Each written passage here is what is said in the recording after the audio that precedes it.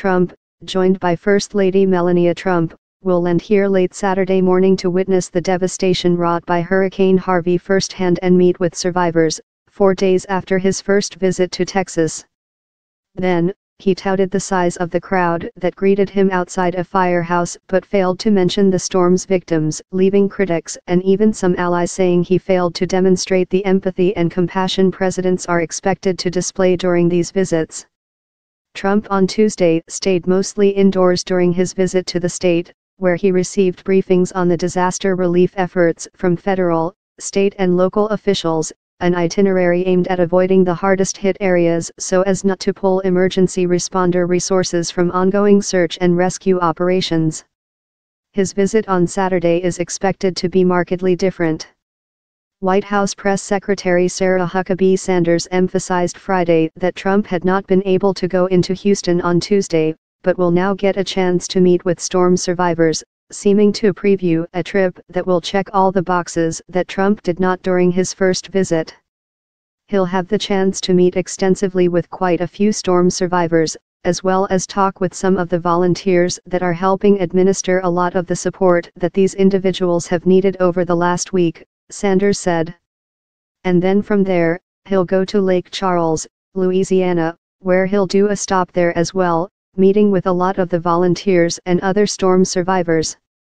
Engagement The president has been eager to show he is engaged in helping with the response to the storm, including posts on social media and public remarks. When one part of America hurts, we all hurt.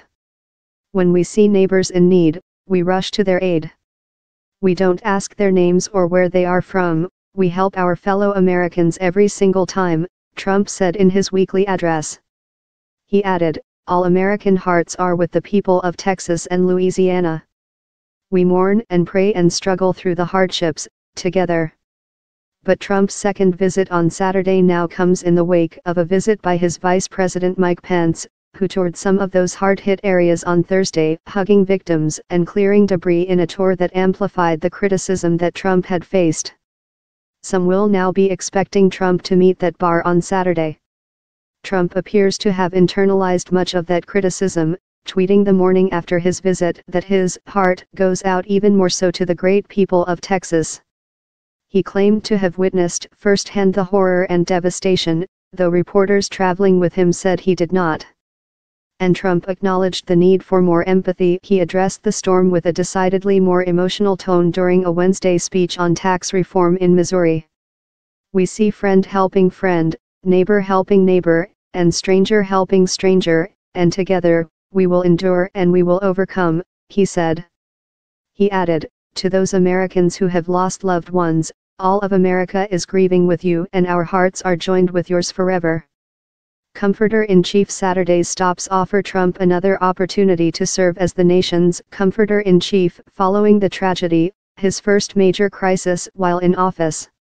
But his vice president, who played that part on Thursday, has now raised the bar for Trump going into his visit on Saturday.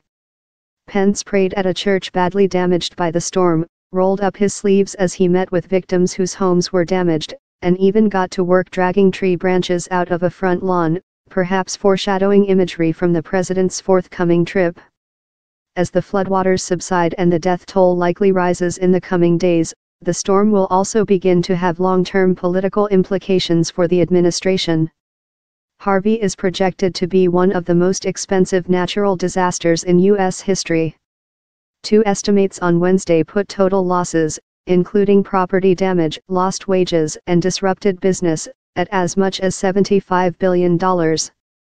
We are still in response mode, and that means life saving, life sustaining, Homeland Security Advisor Tom Bossert told reporters at the White House Thursday.